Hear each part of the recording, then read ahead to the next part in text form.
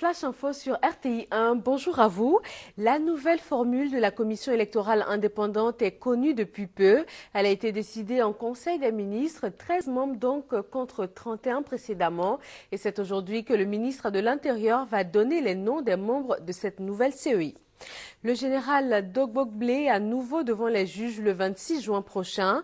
Le chef de la sécurité de l'ex-président Laurent Gbagbo a été reconnu coupable d'avoir commandité l'enlèvement, la séquestration et l'assassinat du colonel-major Adama Dosso pendant la crise post-électorale. Ses avocats ont introduit une demande afin de casser la décision du tribunal. La Côte d'Ivoire célèbre aujourd'hui la septième journée mondiale de lutte contre le paludisme. Pérenniser les avancées, sauver des vies, investir dans la lutte contre le paludisme, c'est autour de ces notions que cette édition 2014 est célébrée. Alexis Ouedraogo. L'anophèle femelle, le moustique responsable du paludisme. Sa stratégie, quand tombe le soir, piqué et infecté. Le parasite qu'il porte en son sein, le plasmodium, est la cause du paludisme.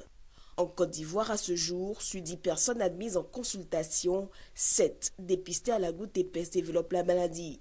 À l'occasion donc de la septième édition de la journée mondiale de lutte contre le paludisme ce vendredi 25 avril, le gouvernement ivoirien s'engage à redoubler d'ardeur sur le terrain. L'édition 2014, la septième journée du genre, conforte la Côte d'Ivoire à poursuivre ses interventions de lutte qui sont à échelle et qui donne des résultats encourageants.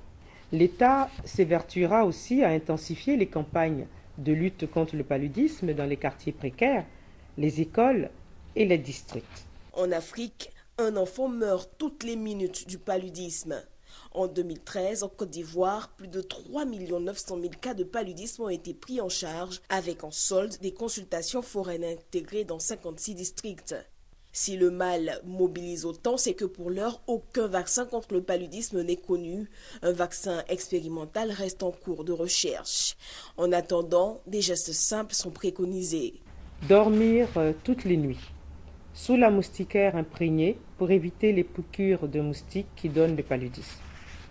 Se rendre rapidement dans le centre de santé le plus proche en cas de fièvre. Et assainir tous les jours son cadre de vie.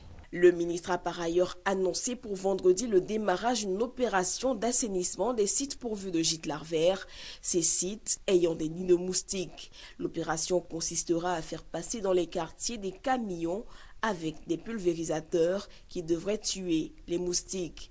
Le ministre a tenu à rassurer les Ivoiriens du non-impact négatif de ces produits sur leur santé.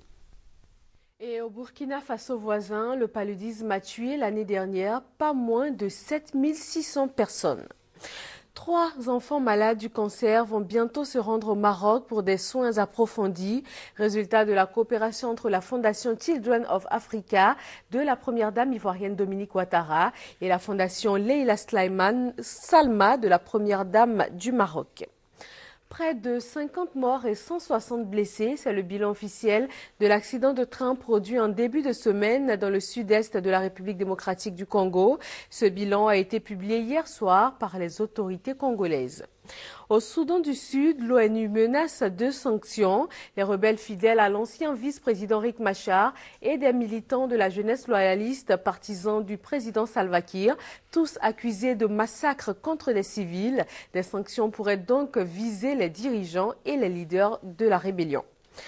Les autorités ukrainiennes ont lancé un assaut contre les séparatistes pro-russes depuis hier. Cinq séparatistes ont été tués et la Russie a riposté avec de nouvelles manœuvres militaires à la frontière. Les États-Unis menacent à nouveau le Kremlin et lui demandent de choisir la voie de la désescalade de la violence. C'est la fin de ce Flash Info, le journal à 13h sur RTI 1.